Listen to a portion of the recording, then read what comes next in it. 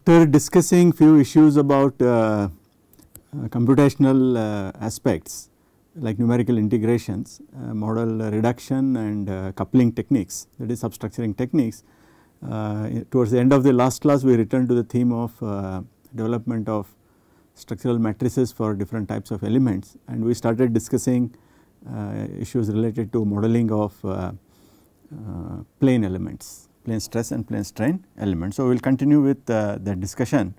So, we can quickly recall we talked about uh, plane stress models where we have a prismatic object uh, carrying in plane loads there is no loading in the z direction there is no body force and no surface traction. So, that means these edges are free from uh, surface tractions only these edges are loaded. Uh, so, what we do is we write the boundary conditions on these edges which are uh, traction free and these are the boundary conditions. There is no normal stress and there are no shear stresses and on uh, uh, the edge which is carrying load the loading is independent of z. Uh, we presume that the thickness of this object is small in relation to the lateral dimensions. So, based on that we interpolate that these features that are strictly valid at the boundaries are true in the interior also. So, that would mean we get sigma zz, zx, zy to be identically equal to 0 for all xyz in the do, uh, domain omega. And similarly, this uh, sigma xx, yy and xy which were independent of z on the boundaries now become independent of uh, z throughout the uh, interior. So, this is the basic um, postulate of a plane stress model and from this we use uh, the constitutive law get the strains and then use strain displacement relations and arrive at model for displacement. So, uh, resulting from uh, that analysis uh, we saw that there will be 10 unknowns in this model 3 stress components, 3 strain components and uh, um, 3 displacement components. I think there will be one more uh, component x, epsilon x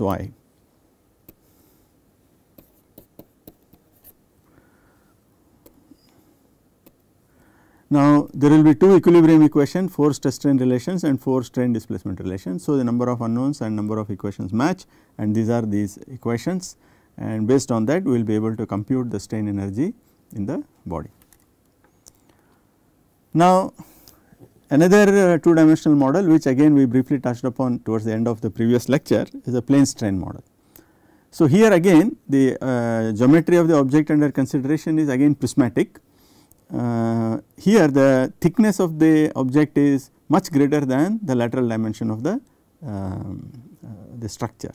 So, for a, a, model to be treated as plane strain model in xy plane, uh, we need that um, the object should be prismatic along z axis and it should be fixed at two ends z equal to 0 and z equal to L against movement in z direction and lateral dimensions as already said is uh, much smaller than the thickness. Now, the loading the should be uh, such that the surface traction and body forces are functions of x and y alone and they are independent of z and there are no body forces in z direction and uh, this is the uh, assumption on geometry and uh, loading. Now, at z equal to 0 and z equal to L, so we have uh, something like this. So, this is a valley and we are assuming z equal to 0 and z equal to L, L is the thickness in this case. Uh, we have assumed that the displacement component W is 0. Now, body is symmetric, the uh, since object is prismatic, the body is symmetric about L by 2. Uh, and boundary condition is symmetric, loading is symmetric about this uh, z equal to L by 2 plane. Therefore, uh, we uh, obtain the uh, condition that W of x comma y L by 2 must also be equal to 0. Now, if you consider section between z equal to 0 and L by 2 uh, and we consider the plane z equal to L by 4, this will be again a plane of symmetry for the section between z equal to 0 and z equal to L by 2. For this section again loading is symmetric about z equal to L by 4, object is prismatic and displacements are 0 at the two ends and again by virtue of uh, symmetry we get at L equal to 4 W must be 0. So, this argument can be repeatedly uh, so, you know we can repeat this argument to reach the conclusion that W is 0 for all z between 0 to L. Since loading and body uh, geometry do not change with respect to z, we also postulate that u and v are functions of x and y alone. So, this is the basic plane st strain uh, uh, model postulates of plane strain model. As you see here the postulates are on displacements whereas in plane stress model the postulates were on stresses. Now, starting with these displacements, so the route will be now from displacement we will use strain displacement relations and obtain strains and from the known strains we will obtain stresses uh, completing the formulation. So, now epsilon xx is dou u by dou x and since u is function of only x and y uh, this is epsilon xx is function of x and y. Similarly, epsilon yy is function of x and y, epsilon zz since w is 0 uh, epsilon zz is 0. Now, the shear strains uh, this will be non-zero whereas the other two strains since u is independent of z this is 0 and w is all, uh, always 0. So, this is 0 and similarly v is independent of z therefore, this is 0 and w is independent uh, w is 0 therefore, this is 0.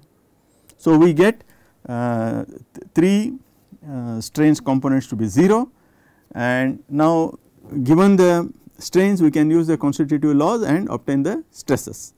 So, the corresponding to the shear strains epsilon xz and epsilon yz the corresponding stresses would be 0, but whereas all other stresses will be non-zero and they are related through uh, uh, the constitutive law for isotropic Hookean material there will be two elastic constants.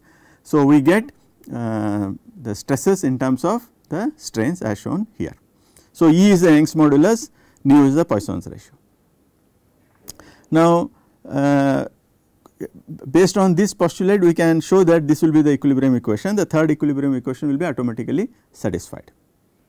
So, in this model there will be 3 stress components which are not known, uh, 4 stress components which will not be not uh, which will not be known and there will be 3 strain components and 2 displacement components. So, there are 9 unknowns and there will be 9 equations, 2 equilibrium, uh, 3 strain displacement relations and 4 uh, constitutive laws. Uh, so, the problem formulation thus gets completed. Now, again we ask this question what would happen if we substitute this model into equations of 3 dimensional elasticity will, every, will all the equations and boundary conditions be satisfied. It so happens that in plane strain model all the field equations will be satisfied, uh, equilibrium equation will be satisfied. Since we are starting from uh, displacements and deriving the strains the compatibility equations will be satisfied, um, the constitutive laws will be satisfied, but the problem will arise in satisfying boundary conditions at z equal to 0 and L. Uh, in that sense this model also is an approximation. now we can show that plane stress and plane strain models are mathematically equivalent. So to convert a plane stress model into a plane strain model we need to readjust uh, the, the value of nu in that model. So similarly we can convert plane strain model to plane stress model by making these substitutions. Both plane stress and plane strain models are approximations. In plane stress models we have difficulty in satisfying a few compatibility equations and in plane strain models we have difficulty in satisfying boundary conditions on z equal to 0 and L. So, this is the elements of theory of plane stress and plane strain models based on linear uh, theory of linear elasticity. Now, to be able to develop the finite element model uh, we need to write the expressions for strain energy and kinetic energy. So, to be able to do that we reorganize the notations uh, somewhat and write now the stress as a 3 cross 1 vector, uh, 2 normal stresses and 1 shear stress and similarly uh, strain is written as 3 cross 1 vector and the constitutive law is now expressed in terms of uh, this 3 cross 1 stress vector and 3 cross 1 strain vector D is the uh, matrix of constitutive law which is 3 cross 1. The strain displacement relations uh, are given by this form. Since W is 0 this gets simplified like this. Now the expression for strain energy we have seen already. This is uh, sig uh, sigma transpose epsilon dV naught, uh, V naught is a volume. And um, if 2h is the thickness this will be the expression for um, this is integral over area. And if I now use for sigma the constitutive law I get this as epsilon transpose d epsilon dA. Similarly, kinetic energy is uh, half integral over volume rho u dot square plus v dot square and over an area integral this becomes this. So, we know now the relationship between all these quantities and now we, we should be able to develop finite element models for uh, these continua, uh, continuum elements. So, we will consider the finite element model for plane stress continuum. In the discussion of beams, uh, uh, all the structural elements were modeled as line elements therefore, there were no uh, questions about geometry of the element. But when we when it comes to two dimensional uh, elements one need to consider the geometry of the element also. So, we can have thus a triangular element, a rectangular element, a quadrilateral element or a triangular element with curved boundaries or a quadrilateral element with curved boundaries. Now, these problems uh, represent additional difficulties where we need to deal with the uh, geometry of the uh, element. Now, if you carefully look at this uh, the strain energy and kinetic energy will strain energy will lead to the stiffness matrix kinetic energy will lead to the mass matrix. So, this integral over the domain you can anticipate that that would be simple for geometries like this, but when it comes to geometries like this uh, the integration uh, exercise becomes difficult and at that stage we will adopt numerical integration. So, we will make a substitution for coordinates and what we will do is we will map regions like this uh, into uh, regions like this into uh, unit squares and area, integral will be on those squares. Okay. So, we will come to that, but let us start with simpler uh, uh, you know uh, geometries. So, let us start our discussion with linear triangular plane stress element. Now, this element is characterized by 3 nodes 1, 2, 3 and the edges are 1, 2, 2, 3 and 3, 1. The nodes have coordinates x 1, y 1, x 2, y 2 and x 3, y 3. This is the coordinate system uh, u is the displacement along x direction, y uh, v is the displacement along y direction. The displacement field within the element are the two displacement components u and v. They vary uh, within the element as functions of x, y and t. There are 3 independent variables, 2 spatial variables and 1 time variable. Now, what we wish to do is we want to express the variation of these field variables in the interior of the element in terms of values of these field variables at these nodes. So, to be able to do that we begin by postulating that the displacement field can be approximated as a linear function of x and y. So, these alpha 1, alpha 2, alpha 3 are uh, generalized coordinates which need to be determined which are functions of time. The, now, uh, I have been assuming that thickness is 2 h, but from this uh, slide onwards the thickness of the element will be h uh, to follow standard notations. Now, so I start with u equal to alpha 1 plus alpha 2 x plus alpha 3 y. Now, at x 1 y 1 here u is given to be u 1 so, I impose that condition u 1 is alpha 1 plus alpha 2 x 1 plus alpha 3 y 1. Similarly, at uh, x equal to x 2 and y equal to y 2 here I know that u is u 2. So, that I condition I impose I will get alpha 1 plus alpha 2 x 2 plus alpha 3 y 2. Similarly, I get the third equation. Now, I will substitute that uh, write this in the matrix form u 1 u 2 u 3 this is known these are unknowns so, this I will write it as matrix A into this unknown quantity. So, these alphas can be expressed in terms of the nodal uh, values of the field variables using this relation. Where this A inverse is given you can compute that and we get this where this quantity A naught turns out to be this.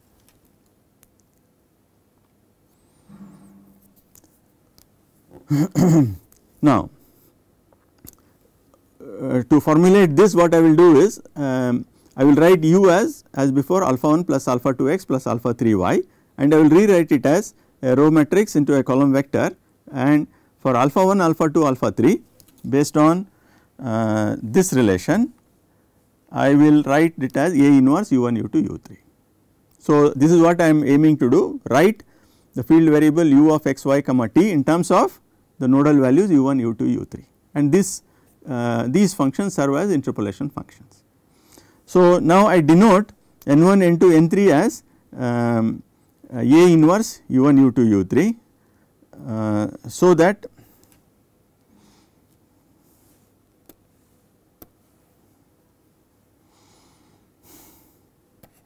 this is 1 x y A inverse. Uh, so that I can write u as n1, n2, n3, u1, u2, u3. Thus, I get u is this and similarly for v that is the other field variable there are two field variables I get a similar expression in terms of v1, v2, v3. Now, I can combine the two states u and v into a single vector and write them in terms of the nodal values u1, u2, u3, v1, v2, v3 as shown here.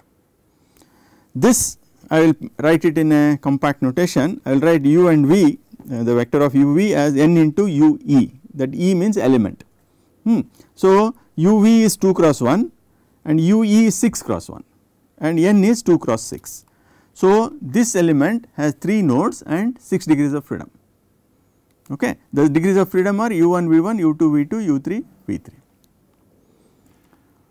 Now, let us consider uh, uh, this uh, equation and make some observations. Now, u can be written as n1 x comma y u1 of t plus n2 x comma y u2 of t etcetera.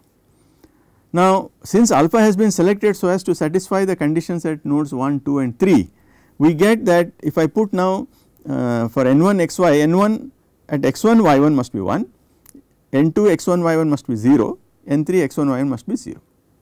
So, you can write this for n1 n2 n3 and in general I can write ni of xj comma yj is delta ij where delta ij is a Kronecker delta. Now, what is the implication of this? So, to understand that we will consider uh, an element a uh, marked as 1 with edges 1, 2, 3 in some Cartesian coordinate x, y, z. I have shown here the, uh, the shape function n1 x comma y. Now, n1 x comma y we have seen it varies linearly. Now, let us consider a point A lying on the edge 2, 3. Now, uh, n1 of x comma y here is 0 so, when I write the displacement field here u, it is not affected by the nodal coordinate u1 because that will be multiplied by n1 therefore, it is 0.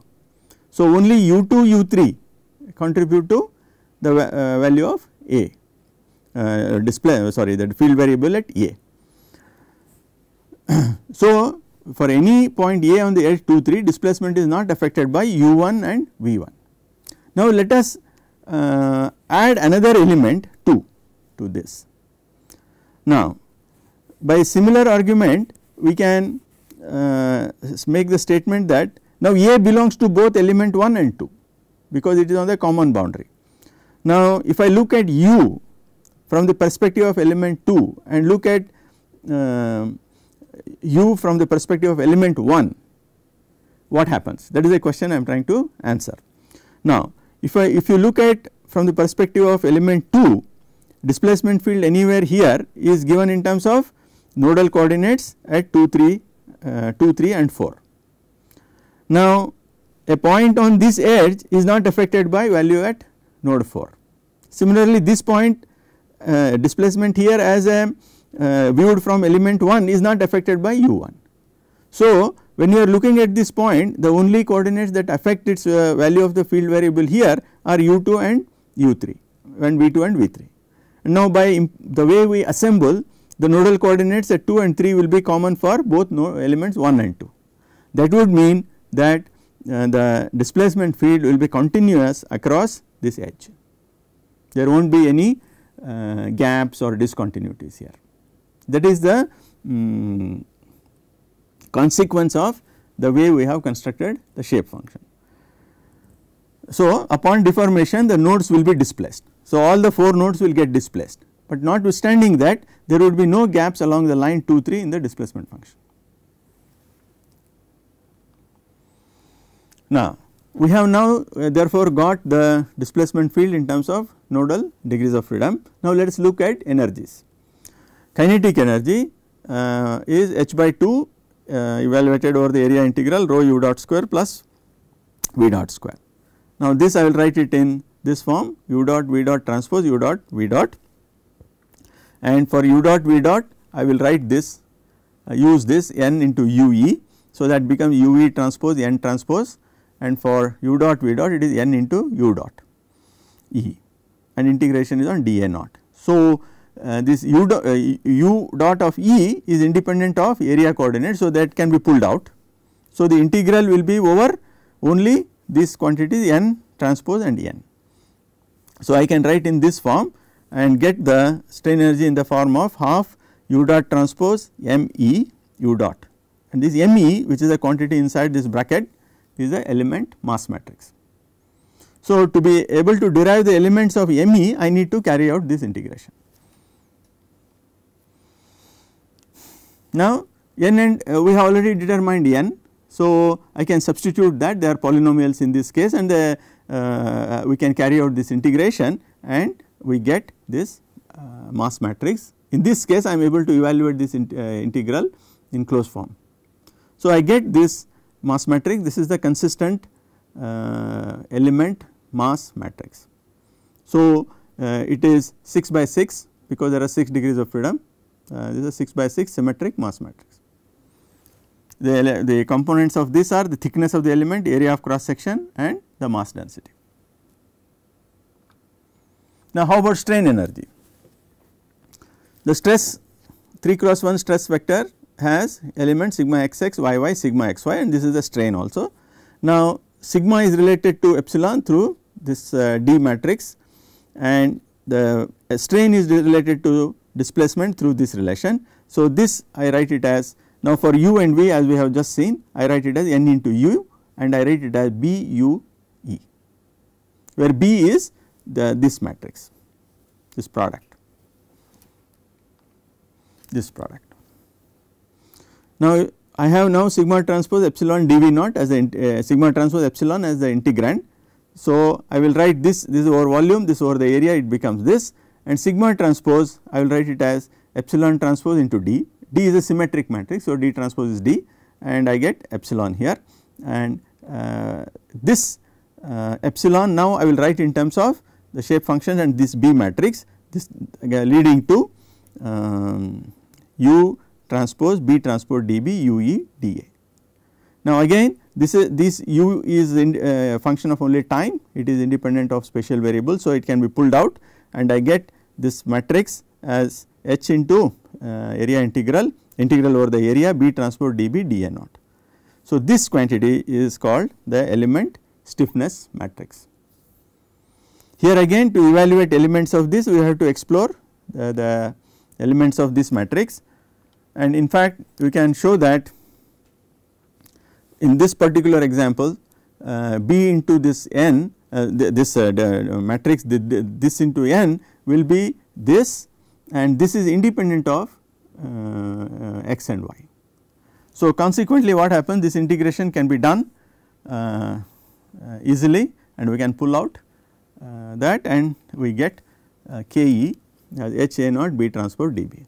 So, B is independent of x and y and hence this element is called constant strain triangle CST.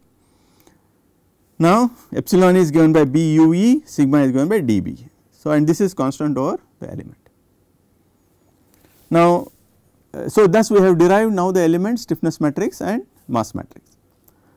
Now, the steps which follow development of structural matrices that is uh, beyond this step uh, that will trans transformation to global coordinates, assembling of different matrices uh, which constitute the built up structure and imposition of boundary conditions and evaluation of nodal forces leading to the final equilibrium equations uh, would be similar to those described in the context of analysis of frames. So, we need not have to revisit that problem. There will be some variations in uh, implementing those steps, but conceptually uh, the details remains similar.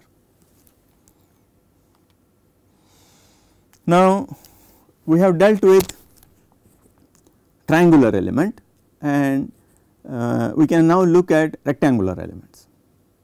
So, I consider a rectangular element of dimensions 2a and 2b. Uh, I'll, I, I will consider the problem of an element having 4 nodes 1, 2, 3, 4. So, this is a 4 noded rectangular element with 8 degrees of freedom because at every node we have 2 unknowns u and v. So, it is 8 degrees of freedom. Now, what I do is we introduce uh, new coordinate system called natural coordinates um, psi is x by a and eta is y by b.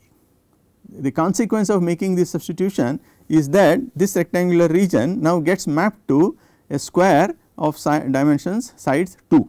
So, the origin at 0 0 and the vertices are at plus minus 1 okay, x equal to plus minus 1 and y equal to plus minus 1.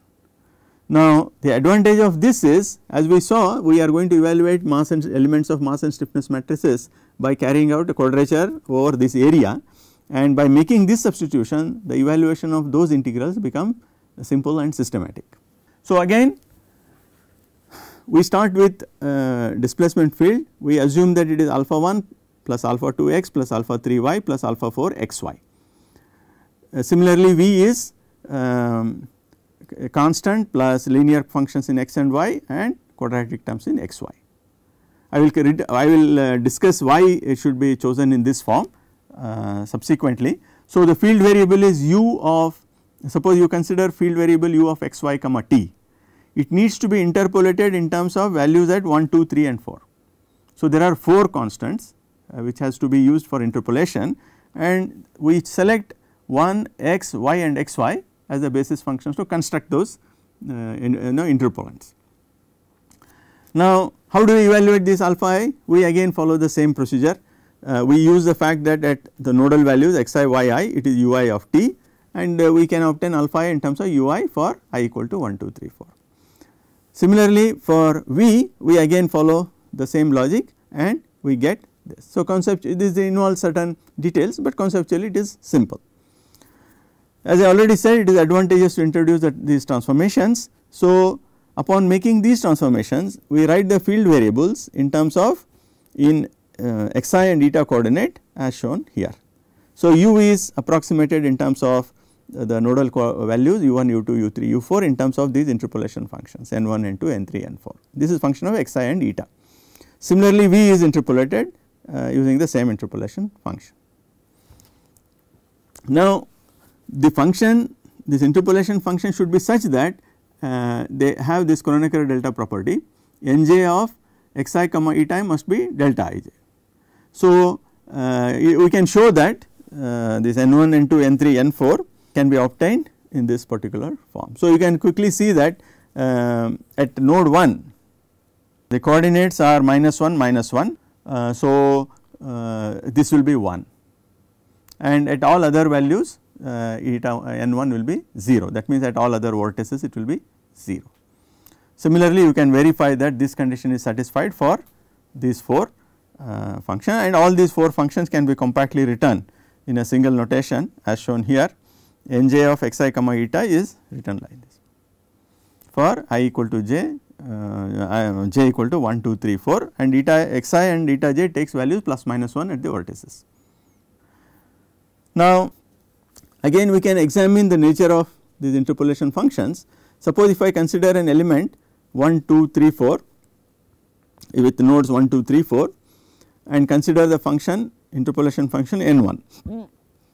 At node 1 its value is 1 and we can see on edge 1, 2 where eta is minus 1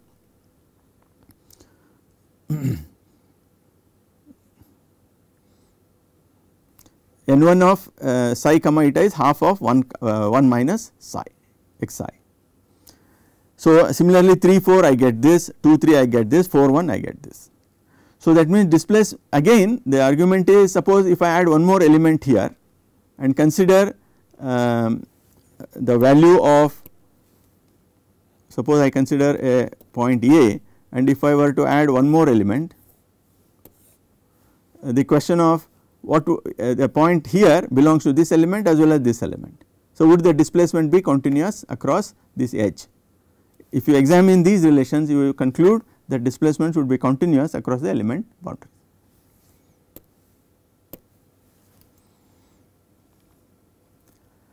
Now, what are the nodal degrees of freedom?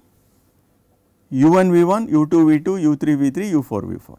So, all that I assemble in a single vector 8 cross 1 vector and I define this matrix of uh, interpolation functions as shown here. So, that I will be able to write uv as n into ue as before. So, the structure of this representation remains the same, but the dimensions of these matrices vary. This is 8 cross 1 and this will be 2 cross 8. Now, again I, for kinetic energy I will use this relation rho u dot transpose u dot dv naught.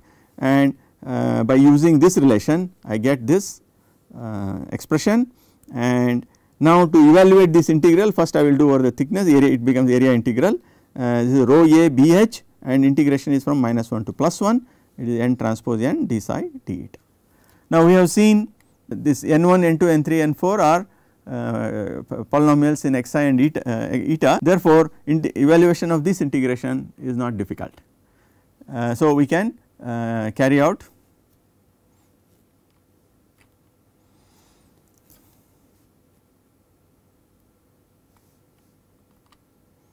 So, ME gets uh, uh, represented in this form and the typical element MEIJ is in the form Ni uh, xi eta into Nj xi eta d xi d eta.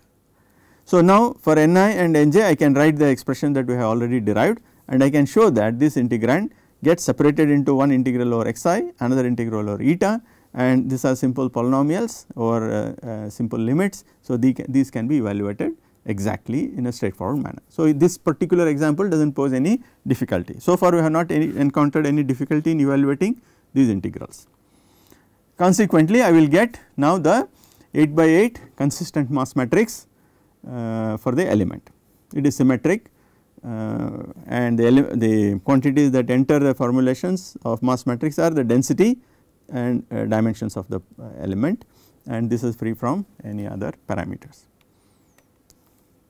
Similarly, strain energy we consider V as uh, this is the expression for strain energy uh, in terms of strains and the constitutive uh, matrix of constitutive uh, coefficients. So, again if I use this representation as before uh, I get uh, now of course, the dimensions of these quantities will vary, but the mathematically the structure of this you know the form will remain the same. So, the integrand now becomes uh, you know UE transpose B transpose dB UE and the stiffness matrix is obtained as ABH integral minus 1 to plus 1 uh, B transpose dB d xi d eta. Now this is the element um, stiffness matrix. So here again we can show that uh, in this particular case we will be still be able to evaluate this integral in closed form. Okay. So the B matrix in this case for a simplification I have given it here uh, which can be used to evaluate that integral. so, B transpose dB uh, you can see that uh, this will be quadratic functions if you put that and you will be able to evaluate the uh, elements of stiffness matrix. So, in summary we have the stiffness matrix and the mass matrix uh, and as I was mentioning in cases considered so far it has been possible to evaluate these integrals in closed form. If the element geometry is not simple uh, like triangle or tri rectangle as we have been considering, we need to resort to numerical integrations to evaluate these integrals. So, this leads to uh, questions uh, I mean what is known as isoparametric formulation and we will see that in due course. Now, before we proceed further with element development we can consider few examples. The first example that I have taken is on a uh, shear uh, wall like this uh, dimensions and elastic properties are shown here. Uh, thickness is about 0.2286 meters uh, and you can see that the conditions for plane stress modeling um, prevails and uh, the problem is uh, to determine the first 5 natural frequencies and normal modes and we can also use Timoshenko beam theory for this and uh, arrive at the natural frequencies from a beam theory and we can see how these results compare. What we can what we are going to do now is we will develop different models for this using triangle elements and using rectangular elements with different mesh densities and see how the results behave. So, the first uh, discretization is the, as shown here. Uh, we use uh, triangular plane stress elements in this model there are 32 elements and 48 degrees of freedom and you can formulate the k and m matrices and if you evaluate the natural frequencies uh, the first 5 frequencies are listed here and uh, based on the examination of normal modes which I will uh, be showing shortly the second and the four, fifth mode in this particular model turn out to be axial uh, deformation model that means oscillations are predominantly in this direction otherwise they are flexure. So, how do the mode shapes look like?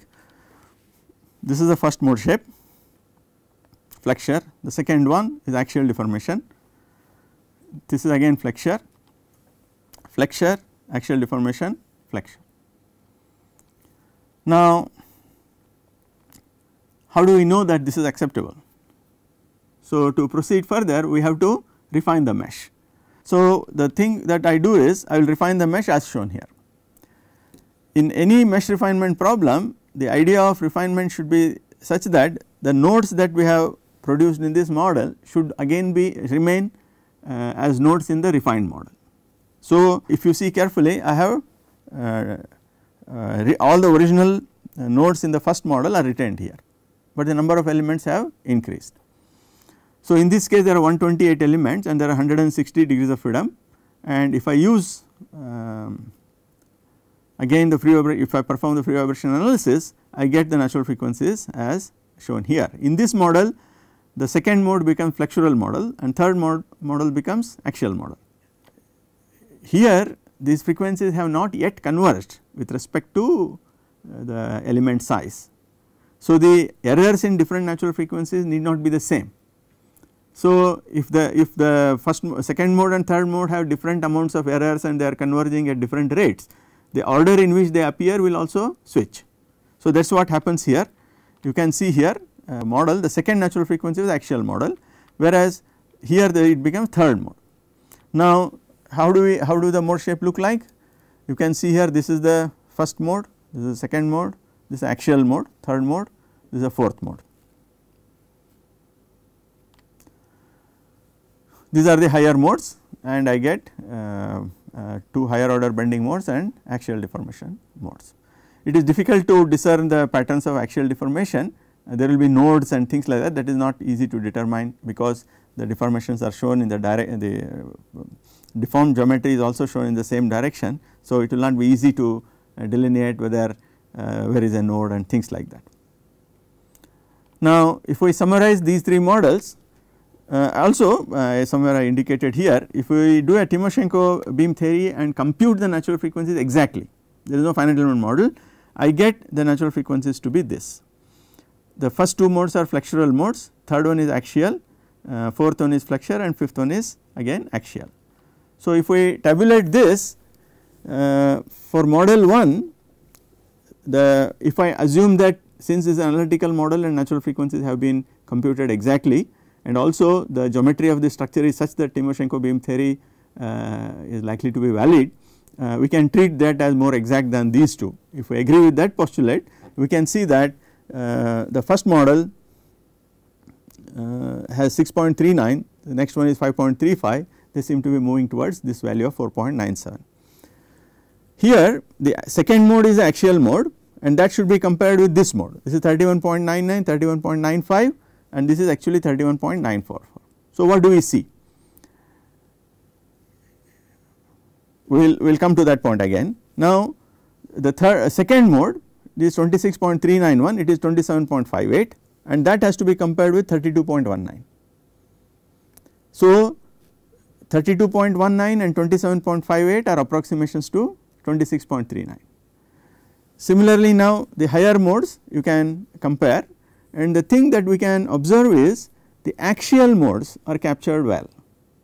For example, 31.99, 31.95 are good approximation 30 to 31.944, whereas 32.19, 27.58 and 26.391 are relatively poorer approximations.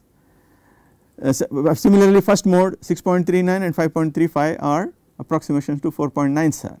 So, the moral of the story is in triangular elements the axial modes are more accurately captured than bending modes. It is not a quite a satisfactory situation because this model is already fairly complicated. in spite of it we are not getting uh, good results. Now let us solve this problem using rectangular elements. So let us start with uh, this discretization um, again uh, everything remains same uh, for this discretization it has 160 degrees of freedom and it is same as this okay. So now the model that I get is 5.03 which is for approximation to 4.97, 26.22, 26.39, 31, 31.95, 61, 62, 96, 95. So the uh, here in addition to uh, axial modes being captured well with uh, rectangular elements we are, we are also able to capture uh, bending modes with uh, higher level of satisfac satisfaction. So the mode shapes are shown here. Uh, the ordering matches with the order that is observed in Timoshenko beam. So, from this one could conclude that rectangular elements behave better than triangular elements at least for the examples that we have considered. Another example that we can consider is that of a, a triangular wedge hmm, which can serve as a model for an uh, earth dam and uh, one can analyze this triangular wedge as a shear beam uh, and you can uh, since the variation is linear we can that the area of cross section variation is linear along the height we will be able to get an exact solution in terms of Bessel's functions that is available in the literature. So this example now if we analyze using plane stress elements uh, plane strain element this will be now a plane strain problem uh, because this is an embankment problem. Uh, so how do how does our models behave. So the first um, uh, scheme of modeling is shown here and here we have 42 elements and 42 degrees of freedom and uh, this this um, these nodes will be fixed at the bottom and the first few frequencies in hertz we obtain as 1.25, 2.67, 3.70, 4.0 and 4.1 and from the shear beam model uh, analytically computed natural frequencies are shown here. How do the mode shapes look like? These are the mode shapes.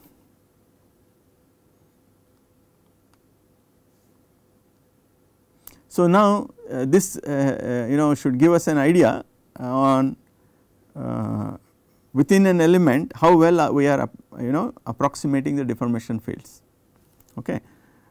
Uh, now the same problem can be tackled using of course refined triangular mesh and so on and so forth, but we can also use combination of rectangular and triangular elements. So an illustration for that this is not a very good mesh it is not something that I recommend for you to use, but it is it serves to illustrate how triangular and rectangular elements can be used in the same model. So for this part uh, we have used triangular elements similarly triangular elements here triangular elements here and for this part we have used rectangular elements. Now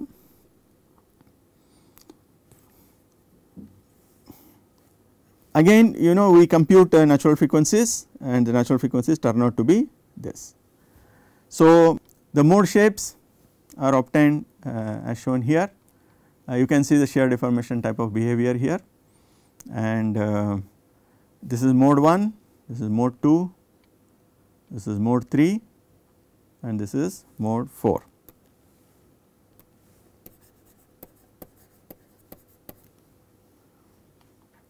Now, we can do this problem more systematically by refining the mesh in an orderly way uh, maybe at some point I will show how that can be done and we can understand how these natural frequencies behave with respect to uh, the refinement in mesh. But the uh, idea of showing these illustrations uh, here is to simply illustrate that the two elements that we have developed can be used uh, to solve this problem. And mind you for this type of geometry uh, entire meshing cannot be done with only rectangular element. We, we will end up using triangular elements to capture these details at the corners at least. So, the remaining part can be meshed with rectangular elements, but when it comes to these corners we will end up requiring triangular elements. Now this shows us that there will be situations where simple geometries like uh, rectangle and triangle may not suffice. So we need to deal with uh, more complicated geometries uh, such as this. So, how do we proceed? So, what we do is the basic idea of considering different geometries is uh, we have some Cartesian coordinates x and y. So, a point here has coordinates x and y. Now, I will introduce a mapping so that this region gets mapped to a square uh, with uh,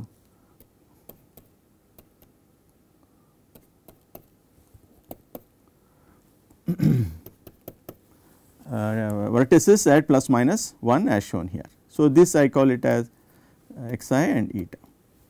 Now, a point here gets mapped to a point somewhere here.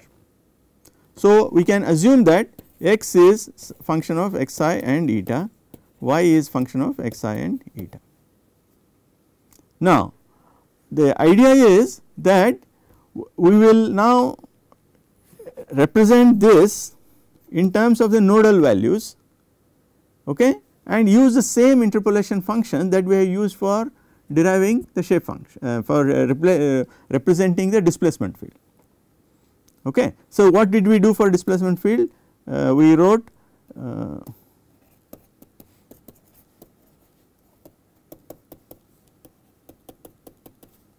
the nodal values and these interpolation functions. Okay. Now, I will use the same interpolation functions and represent these coordinates in xi eta plane. So, that means the geometry of the element is also approximated using the same shape functions uh, which were used in representing the field variables. So, this formulation is known as isoparametric formulation.